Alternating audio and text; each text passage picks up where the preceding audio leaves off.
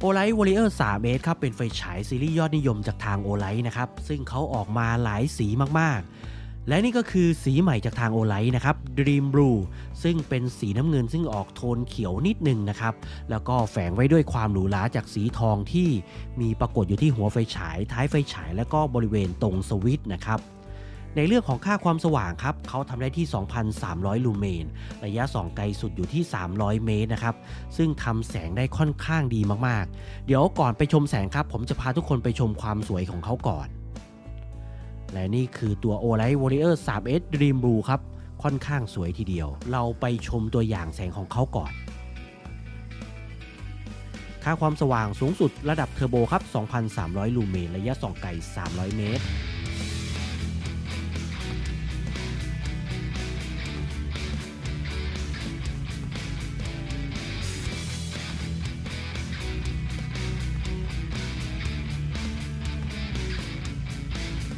คราวนี้ก็มาดูที่ระดับไฮครับ 800ลูเมนระยะส่องไกล 180 เมตรครับ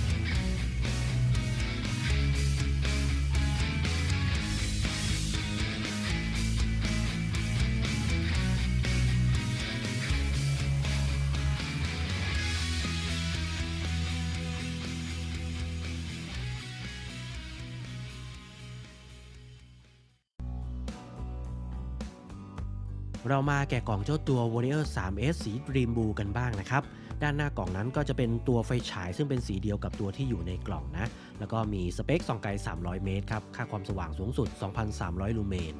ด้านข้างจะเป็นแบรนด์แล้วก็ชื่อรุ่นนะครับ Warrior 3S แล้วก็ด้านหลังนั้นจะเป็นฟีเจอร์ แล้วก็สเปคเกี่ยวกับค่าความสว่าง ระยะส่องไกลขนาดน้ำหนักแล้วก็คุณสมบัติอื่นๆนะครับ เดี๋ยวเราไปดูกันอีกทีหนึ่ง อีกฝั่งหนึ่งครับจะเป็นชื่อรุ่นแล้วก็เป็นการรับประกันแบบไลฟ์ไทม์นะครับซึ่งจะรับประกันเฉพาะในบางพื้นที่นะส่วนในไทยเราน่าจะอยู่ที่ 5 ปีอยู่นะครับโอเคครับ เดี๋ยวเรามาแกะกล่องกันพร้อมกันเลย เปิดขึ้นมาครับก็จะเจอฉลากสีเหลืองนะครับแล้วก็จะเจอตัวไฟฉายอยู่ในซองไนล่อนสีดำนะครับ เดี๋ยวเรามาดูกันว่าตัวไฟฉายของจริงนั้นจะสวยงามขนาดไหนนะ และนี่คืออุปกรณ์ทั้งหมดที่อยู่ภายในกล่องนะครับ ก็จะมีตัวไฟฉาย ตัวแบตเตอรี่ซองผ้าครับ สายชาร์จแบบแม่เหล็กแล้วก็คู่มือ ซึ่งทางโอไลก็ให้มาแบบครบไม่ต้องซื้อเพิ่มนะครับ ถ้าเราจะใช้แบบใช้งานทั่วไปไม่ได้ติดปืนครับ คราวนี้ก็มาดูสัมผัสเจ้าตัว Warrior 3S สี Dream Blue แบบชัดๆ กันนะครับ ผมจะหมุนให้ทุกคนดูช้าๆ ชัดๆ นะครับ สีของเขาออกไปค่อนไปทางเขียวนะครับ เป็นน้ำเงินออกไปทางเขียวๆ แล้วก็มีรายละเอียดสีทองในบางจุดนะครับ เช่นสวิตช์แล้วก็หัวไฟฉาย ท้ายไฟฉายนะครับตัวชื่อรุ่นนะครับเขาจะมีการเล่นรายละเอียดเล็ก ๆ น้อยๆนะครับ เวลาโดนไฟก็จะเป็นแสงแบบสว่างนะครับ แต่ถ้าไม่โดนไฟก็จะออกมืดๆขรึมๆนะ แล้วก็จะมีสีทองแซมอยู่นะครับ ก็อย่างที่ทุกคนเห็น ค่อนข้างสวยนะครับ มี detail มีรายละเอียดรวมไปถึงชื่อแบรนด์ด้วยนะครับ เวลาโดนไฟก็จะเป็นอีกสีหนึ่ง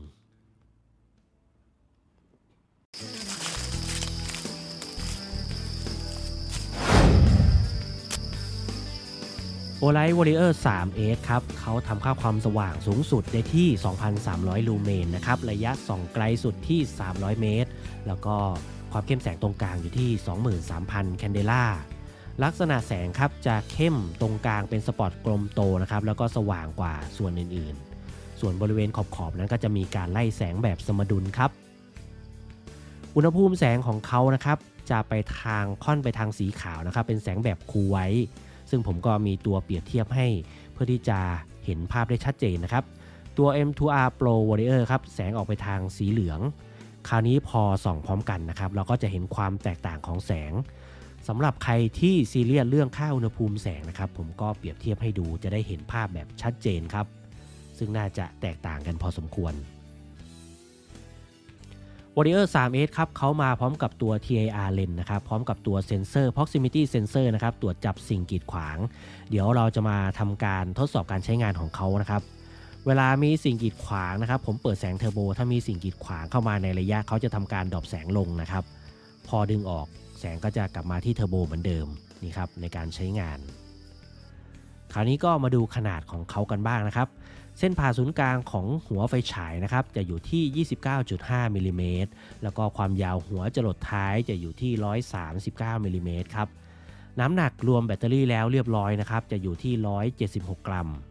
ผมทดสอบเทียบกับตัวไฟแช็กนะครับให้ทุกคนเห็นภาพที่ชัดเจนถึงขนาดของเขานะแล้วก็ถือในฝ่ามือก็จะเป็นแบบนี้ครับ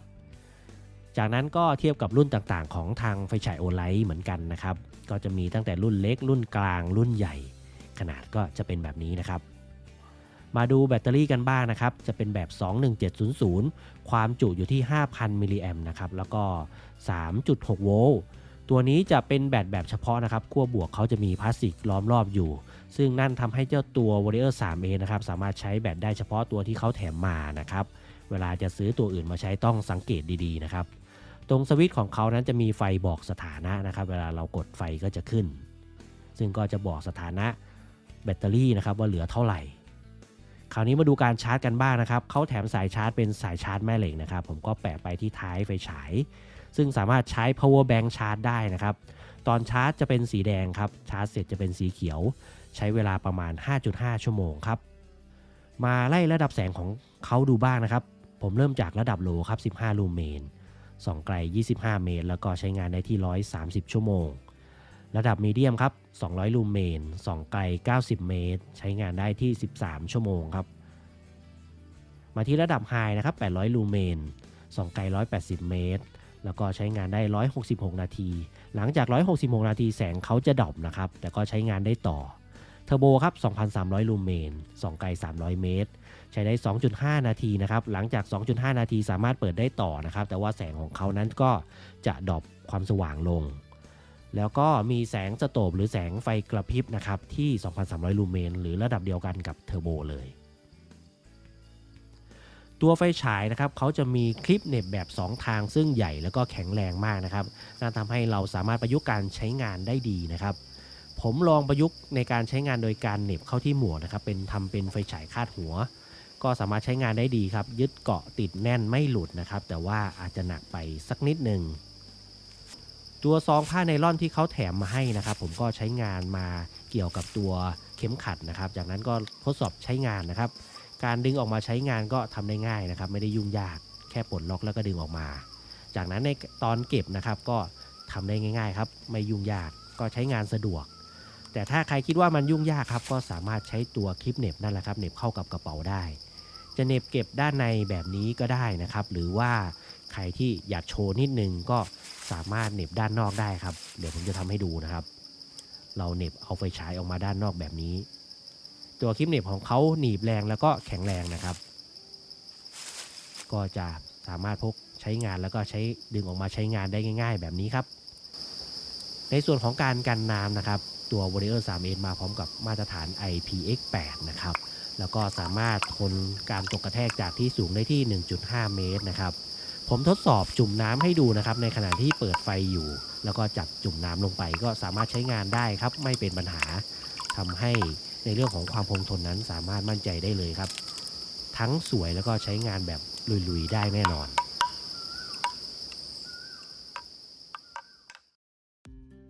มาดูโปรโมชั่นของทาง o l i ไทยแลนด์กันบ้างนะครับ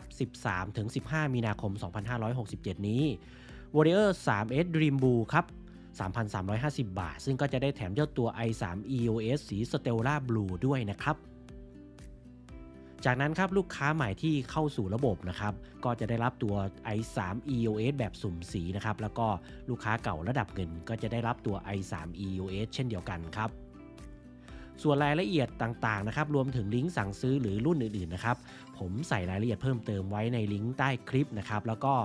มีลิงก์สำหรับสั่งซื้อให้ด้วย สามารถเข้าไปดูได้นะครับและแน่นอนครับโค้ดส่วนลด Lens Cover ใช้ลด 12%สำหรับแฟนๆ ของฝาปิดเลนครับ ก็สามารถเข้าไปดูกันได้นะครับ 13-15 มีนาคมนี้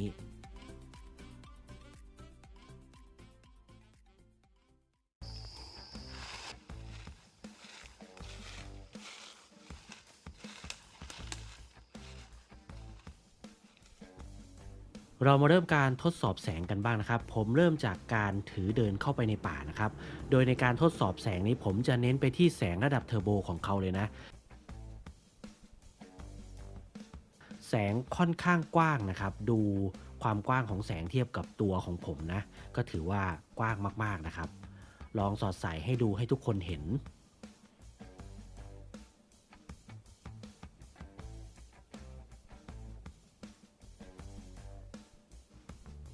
จากนั้นผมจะลอง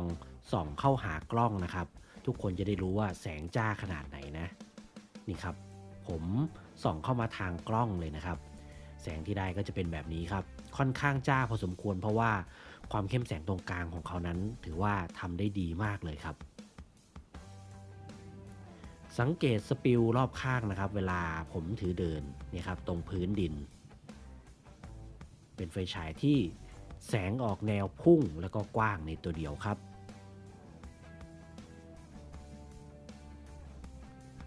จากนั้นผมก็ลองส่องด้านข้างให้ดูนะครับ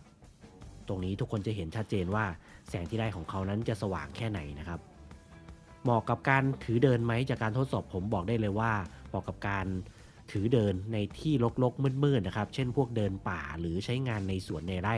แบบที่ผมใช้งานในสวนยางแบบนี้ค่อนข้างที่จะเหมาะครับ นี่ครับนี่คือลักษณะแสงของเขานะ ลองคิดดูครับถ้าถือเดินแบบนี้แล้วมีอะไรเข้ามาในระยะการส่องนะครับ น่าจะเห็นได้ไม่ยากเย็น โอเคครับ คราวนี้ผมก็จะถือกล้องแล้วก็ถือไฟฉายนะครับ เดินไปพร้อม ๆ กันให้ทุกคนได้เห็น ลักษณะแสงของเขาเป็นแบบนี้นะครับ ตัวสปิลแสงนั้นค่อนข้างกว้างนะครับ เกือบจะล้นเกือบจะเต็มเฟรมกล้องนะครับ แล้วก็สปอตตรงกลางนั้นเข้มมากๆครับเป็นลักษณะสปอตตรงกลางกลมโตเลยนะครับแสงเข้มกว่าส่วนอื่นๆนี่ครับพอส่องขึ้นข้างบนนี้จะเห็นชัดเจน คราวนี้ก็มาส่องด้านล่างในระยะระดับสายตาบ้างนะครับ แสงที่ได้ก็จะเป็นประมาณนี้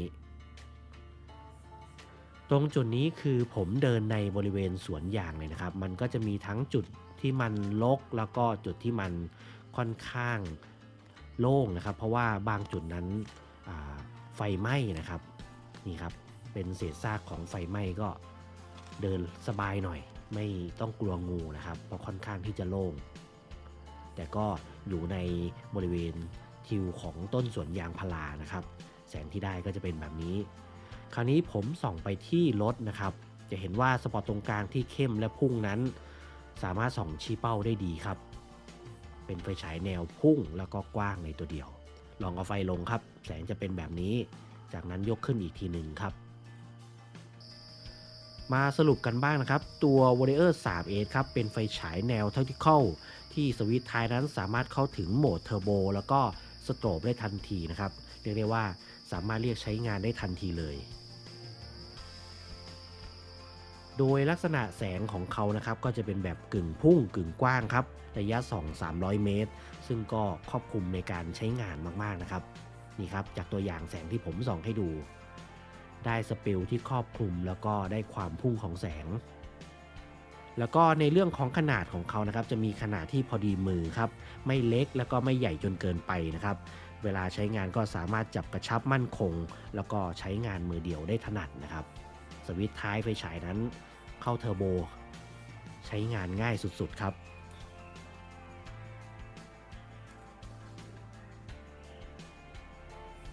คราวนี้ก็มาพูดถึงเจ้าตัวสีใหม่ดีมูนะครับ โดยส่วนตัวผมมองว่าเขาสวยแนวแบบเคร่งขรึมนะครับ แล้วก็จะออกหรูหรานิดๆจากสีทองที่ตัดกับตัว body นะครับ ซึ่งใครที่เป็นสายสะสมนั้นไม่ควรพลาด หรือใครที่ยังไม่มีไฟฉายใช้งานนะครับอยากได้ไฟฉายตัวเดียวจบ